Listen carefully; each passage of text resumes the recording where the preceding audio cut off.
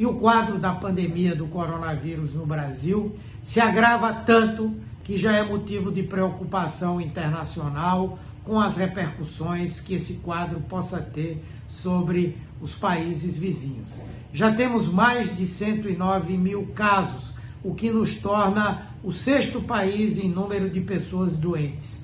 Já temos mais de 7.400 mortes, o que nos torna o sexto país em número de mortes. É um quadro de calamidade pública que precisa de medidas mais duras, que possam restringir ainda mais as atividades econômicas e a circulação de pessoas. Seria uma quarentena nacional, que, no entanto, pela ausência de liderança, de coordenação e articulação por parte do governo federal, tem que ficar na dependência do posicionamento de estados e municípios. Para isso, já existem no Brasil leis que permitem e que dão autonomia a estados e municípios para implementarem a quarentena total ou o chamado lockdown, como querem alguns.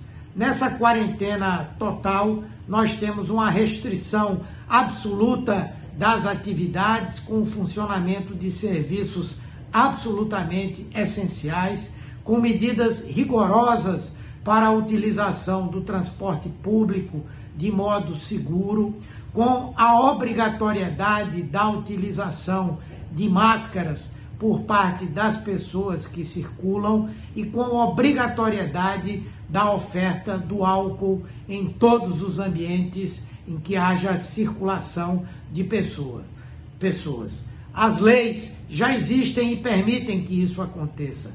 O presidente Lula, em 2005, decretou uma proposta que foi aperfeiçoada em 2010 e agora, em 2020, em fevereiro, o Congresso Nacional aprovou uma lei que permite a utilização da quarentena total.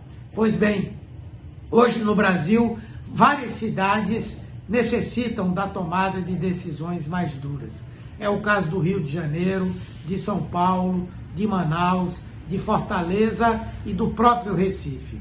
Pernambuco e o Recife têm dado um exemplo de uma condução adequada, correta desse enfrentamento ao coronavírus. Do ponto de vista das informações ao público e aos meios de comunicação, Pernambuco é considerado o estado mais transparente.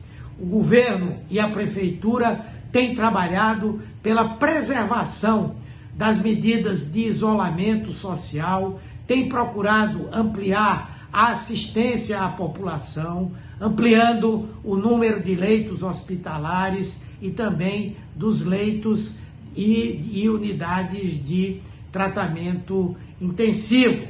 No entanto, é preciso fazer mais, especialmente no Recife e na região metropolitana. Medidas como essa quarentena já estão no momento de serem tomadas.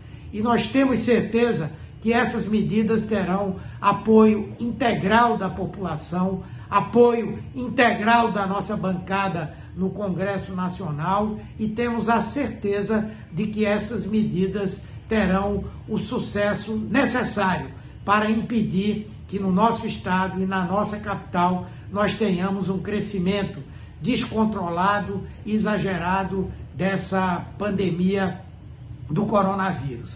Não há outra saída. Teremos que tomar essa decisão.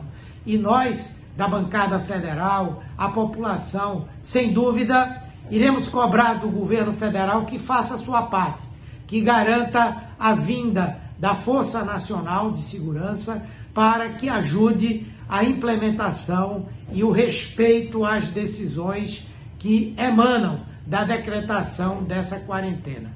Precisamos estar cada vez mais juntos para garantir uma vitória sobre essa pandemia do coronavírus.